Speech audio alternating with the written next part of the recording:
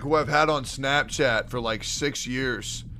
And uh, after six years, she si- finally sent me a photo of her ass. So, uh, you know, hard work pays off. Didn't even like the chick, but, uh, you know, that's pretty much what we were all waiting for. So, in case you guys are in the same boat, it, it, hard work pays off ad- uh, eventually, guys. Every now and then, she would send me messages about her problems, and I was like, oh man, that's awful. And, uh, yeah, we secured the W yesterday, guys. Secured the W. All right, here we go.